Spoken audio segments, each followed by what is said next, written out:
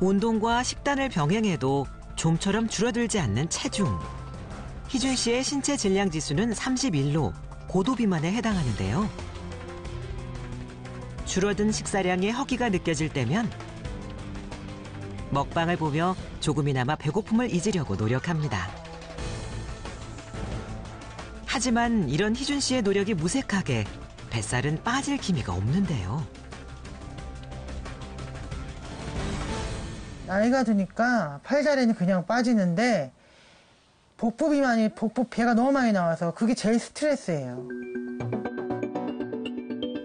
복부 비만은 근력 감소와 기초 대사율을 떨어뜨리는 주요 원인입니다.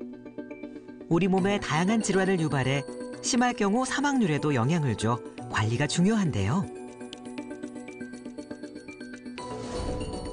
실제 한국인 약 2,326만 명을 대상으로 조사한 결과 허리둘레가 5cm 증가할수록 사망률이 10% 증가한다고 보고된 바 있습니다.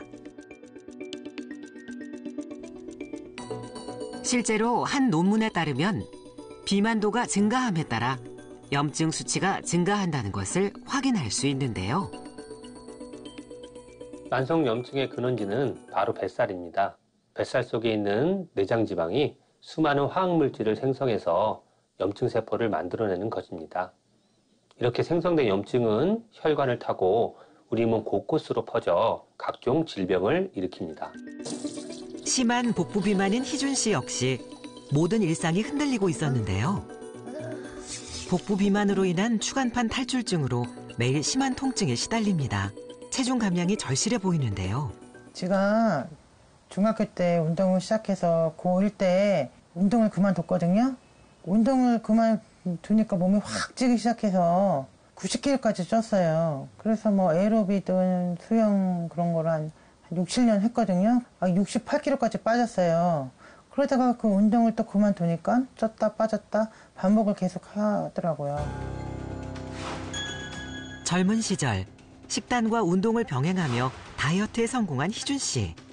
기쁨도 잠시 요요 현상과 함께 건강에 적신호가 켜졌습니다. 보건소를 갔는데 당뇨가 일단 공복이 260이었던가 그랬던 것 같아요.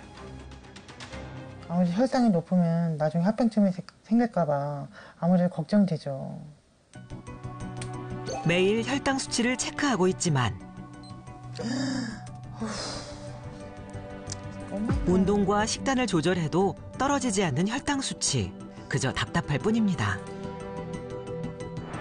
당뇨는 비만과 밀접한 관련이 있습니다. 몸속에 과도하게 많은 지방세포가 축적돼 혈당을 조절하는 인슐린 호르몬이 제대로 작동하지 못해 발생하는 당뇨병. 우리나라 전체 당뇨병 환자 중 과체중과 비만은 76%에 달하는데요.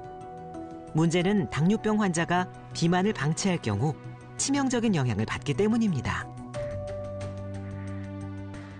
당뇨병을 앓고 있는 분들에게 가장 큰 적은 비만입니다.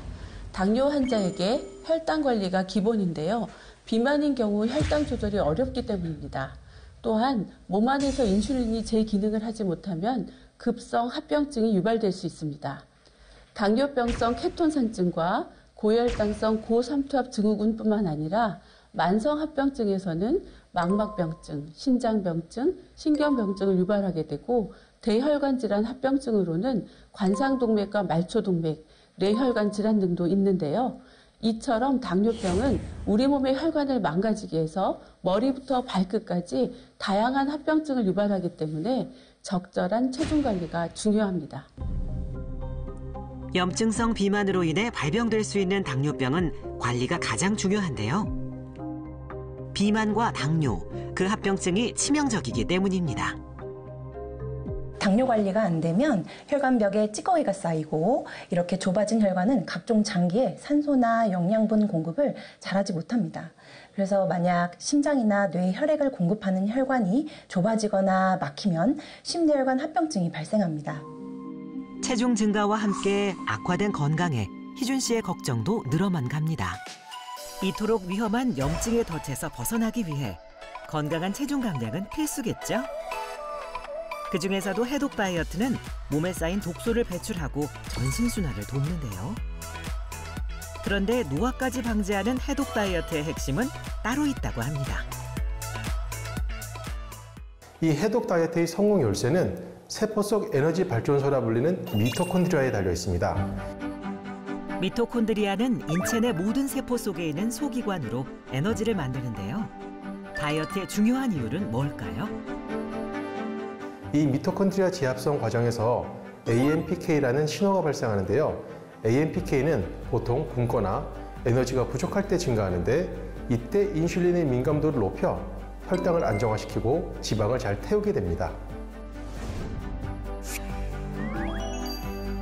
뿐만 아니라 미토콘드리아는 노화를 조절하는 데도 깊게 관여하는데요.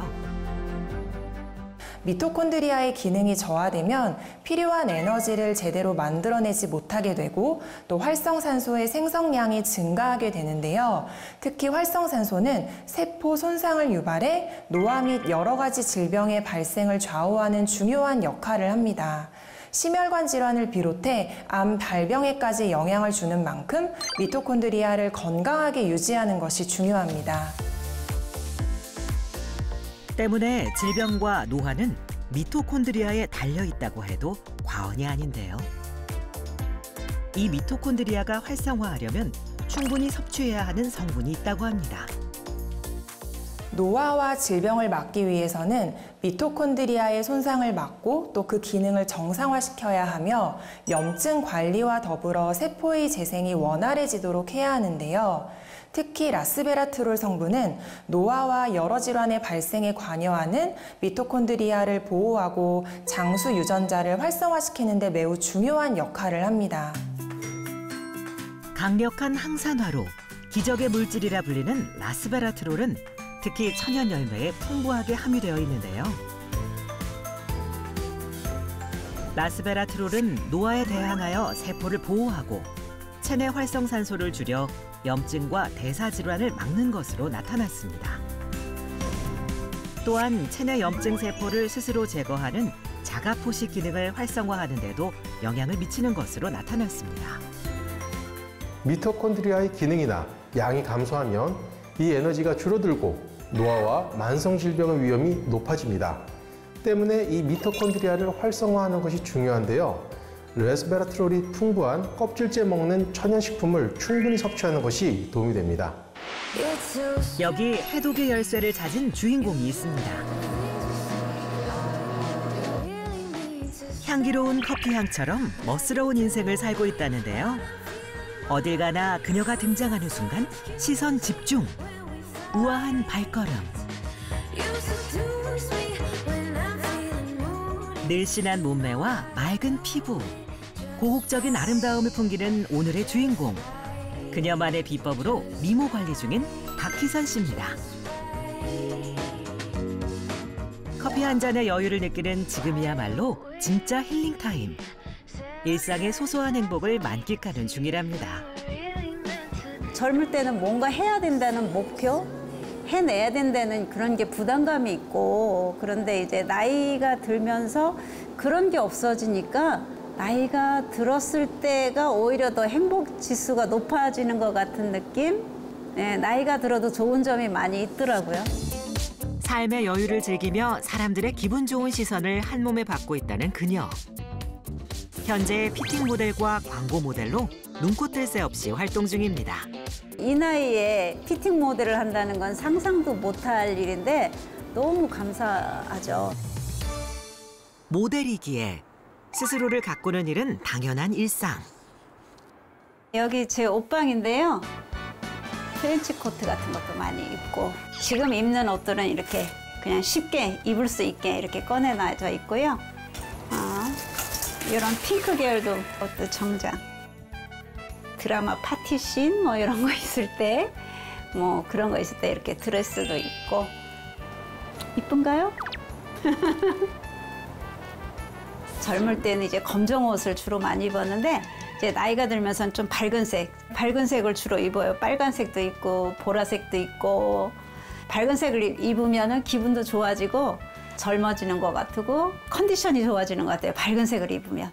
어떤 스타일의 옷이든 척척 소화하는 그녀. 신체 사이즈가 궁금한데요. 어, 상의는 4, 4, 5 정도 입고요. 이제 허리는 26, 27 정도 입어요.